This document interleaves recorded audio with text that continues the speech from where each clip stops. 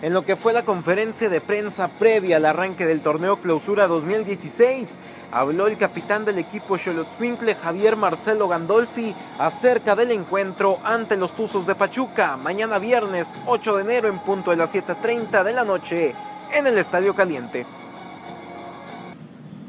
Sí, eh, está claro que, que el equipo no, no hizo buenos torneos, pero creo que la gente que llegó con la que estábamos, tenemos la ilusión de, dar vuelta a las cosas y, obviamente tener un torneo bueno. Eh, saber que como objetivo mínimo es liguilla.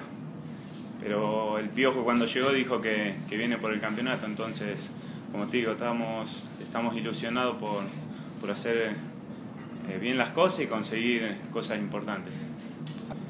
Eh, todo lo que nombrás es verdad, tanto con América como con Monterrey.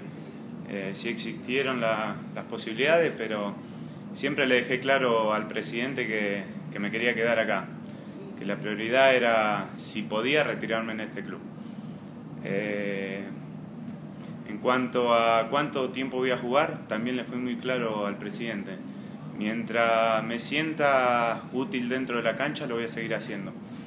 Eh, cuando me dé cuenta de que ya no, no, rindo, voy a dar un paso al costado. Pero mientras tanto voy a seguir eh, defendiendo y haciéndolo como lo hago en cada entrenamiento y en cada partido. Por último, cabe destacar que este será el torneo número 10 para el capitán Cholotzwinkle Javier Marcelo Gandolfi. Mañana gran debut de los Cholos en el arranque del clausura 2016. Dura prueba, duro reto para Miguel Herrera y compañía. Informó desde la cancha del Estadio Caliente para TJ Sports, Brandon Ambris.